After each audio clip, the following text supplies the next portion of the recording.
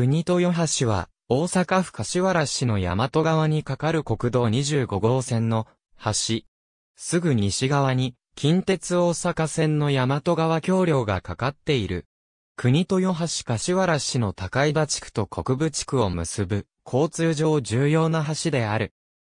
竜田越奈良街道と長尾街道が交わる地点にあたり、昔も今も交通の要衝である。江戸時代には渡し船で両岸を結んでいたが、当時の国分村の住民が幕府へ佳境を願い出て、許可自体はされるものの、資金不足で佳境されることはなかった。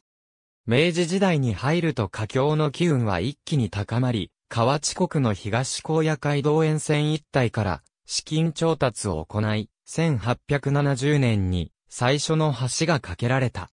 最初の橋は木橋であり、維持をするのに苦労したと伝えられている。当初は国分橋と呼ばれ、国分と高井田の間に架かることから、国高転じて国豊橋と改めたが、いつしか国豊橋と呼ばれるようになった。1932年にコンクリート製の永久橋に架け替えられ、自動車交通の発展に耐うるものとなった。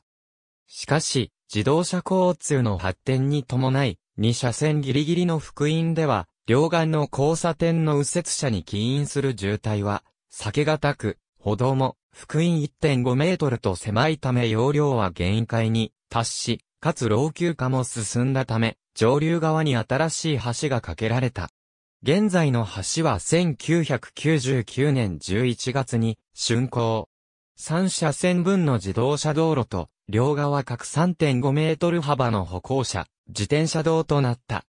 北詰交差点はかつては、純然たる T 字路であり、国道25号は左折、右折していたが、国道25号に沿ってカーブさせて優先的に通行するように改められた。北岸、柏原市大技高井田南岸、柏原市国部本町一丁目。ありがとうございます。